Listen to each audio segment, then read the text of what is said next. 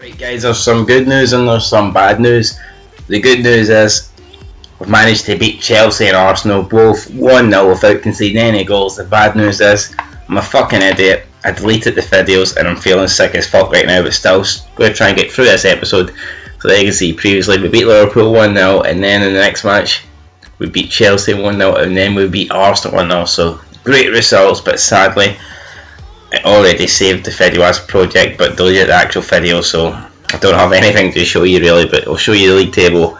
Now, this is not after the Chelsea uh, Chelsea and Arsenal game because I have played an extra game in the league so there you can see it's based on that. After 26 games played we're sitting in 4th place and we're only what 6 points off Liverpool? That's not bad at all. And then you can see the top goal scorers in the league. We've got Lukaku there top followed by Crystal Palace's Chamakh and Spurs' Doumbia both in second place with 9 goals apiece.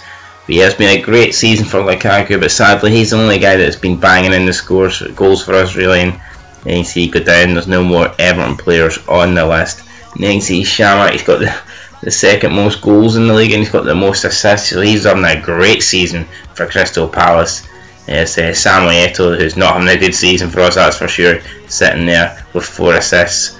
Phil Jagielka, also another Everton player tops the list. Not necessarily a list that we'd want to top, to be honest, but whatever, man. He's on seven yellow cards, joint with Pochettino and a bunch of other guys. And there's the red cards. No surprise to see Hothead Ivanovic leading the way there with two red cards. And then you see just some stats for Champions League rivals. You can see Arsenal there, Giroud, 6 goals and 15 appearances, not bad. Danny Welbeck with 4 goals and 20, that's not great now, is it?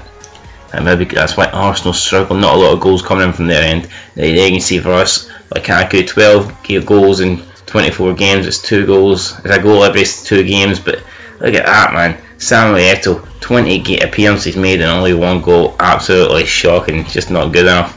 And our rivals Liverpool, no one really leading the way for them. Just it's been a basically the goals. They're all sharing the goals really. Borini, Balotelli, Lallana, Gerrard, Lampard and Sturridge all doing their part and contributing to their good season that they're having. And there's an overall record for this season.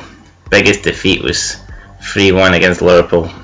Sad day in our Everton career, but we managed to beat Bradford 3-0, which is pretty good. And 36 games played, and we've won 17 of them, so we've won almost 50% scored 43 and conceded 33, so it's less than a goal a game. That's pretty good. But yeah, that's going to be it for this episode. Sorry about the shit episode. Just delete everything. Feeling like shite, and that's about it. Till next time. Peace.